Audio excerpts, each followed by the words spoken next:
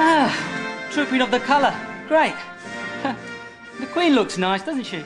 Nice. Of course, nice. Because she's Indian. Not the Queen. All of them, the whole royal family Indian. What are you talking about? Oh, think about it, yaar. Huh? Descended from Queen Victoria, Empress of India, so Indian. Rubbish. Not rubbish. Look at them. Huh? They all live in the same family house together, Indian. All work in the family business, Indian. Have arranged marriages, Indian. They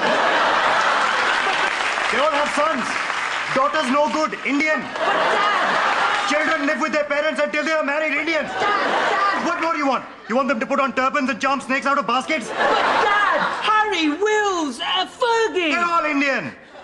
All except Prince Charles. He's African. What? If he was Indian, he'd have smaller ears.